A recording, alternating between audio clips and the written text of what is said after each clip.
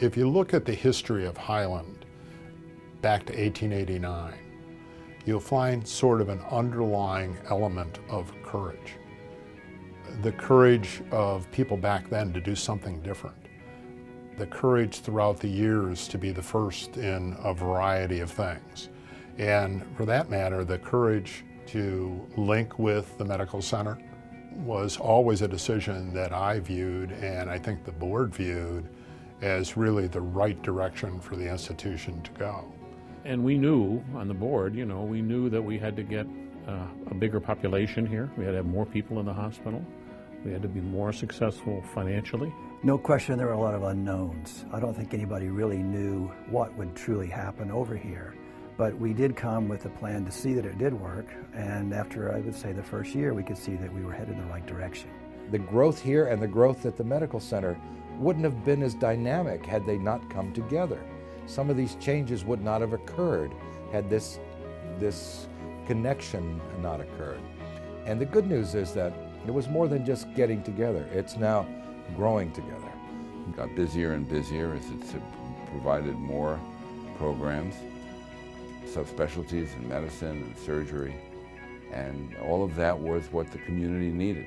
Highland has really evolved over the last uh, 20 years uh, from a hospital that did general surgery and orthopedic surgery to a hospital that does uh, complex spine surgery here now. We do all the majority of the joint surgery at Highland Hospital in the system.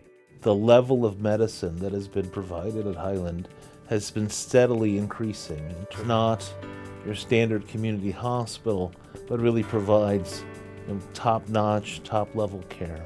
Technology has certainly increased in, in all the hospitals, but Highland, we've really kept up with that. In the past several years, we've uh, purchased two Da Vinci robots in our operating room, very high tech equipment so that we can provide the best outcomes to our patients for minimally invasive surgery. When I saw what was happening to patients who were treated that way and how well they did, um, there was no question in my mind that that was going to be the future. We want to make sure we have a state-of-the-art facility with state-of-the-art equipment so that we can continue to provide the best care to the patients and attract physicians who want to come to Highland and build their practice here as well.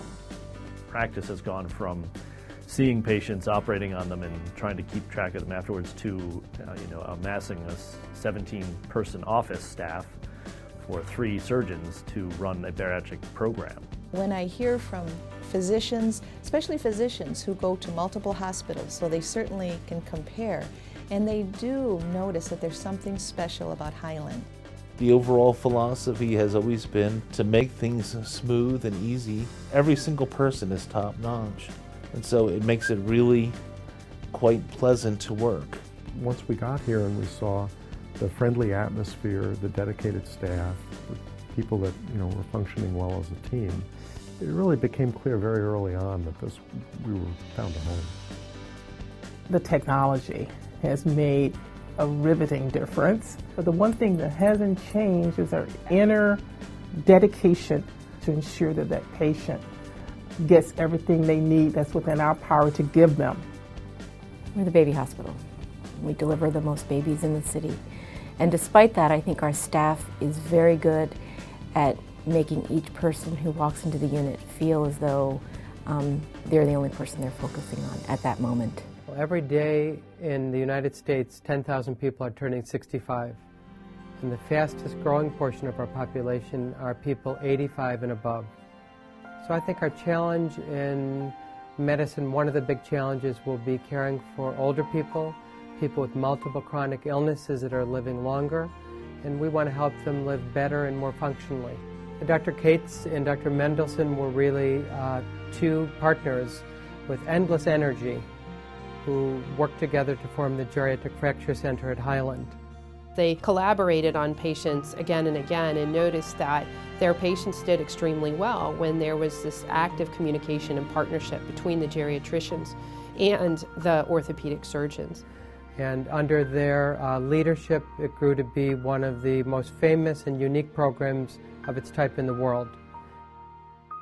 That's what hospitals do. They provide health care for a community. Highland's success is really around the community's need for it. And I'm, I'm delighted, of course, that it's celebrating its 125th birthday, and I have no doubt that there will be many, many decades, potentially even 125 more.